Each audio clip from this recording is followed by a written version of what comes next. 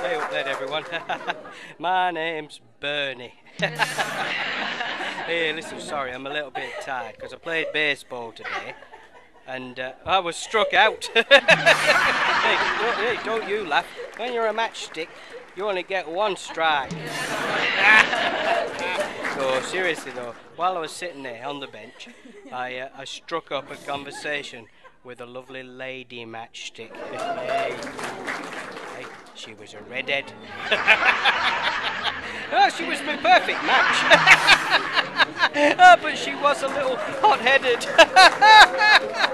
oh, yeah. oh, listen, oh, no, settle down, settle down, because I've got a little story to share with you. Um, uh, you know, I had a, a sad, I had a sad childhood. Oh, really? Yeah, yeah. Because all the parents wouldn't let their kids play with me. oh, I'm on fire. Oh, I hope not. hey, listen, hey, hey, you know other comedians? You see other stand-up comedians, and they have a little smoke on stage, don't they? A little cigarette while they're telling their jokes. Well, I've got to tell you, I don't like smoking. Oh, because when you're a matchstick, you only get to light up once and you're dead. oh, you've been a great audience. Thanks. We'll see you again. Bye.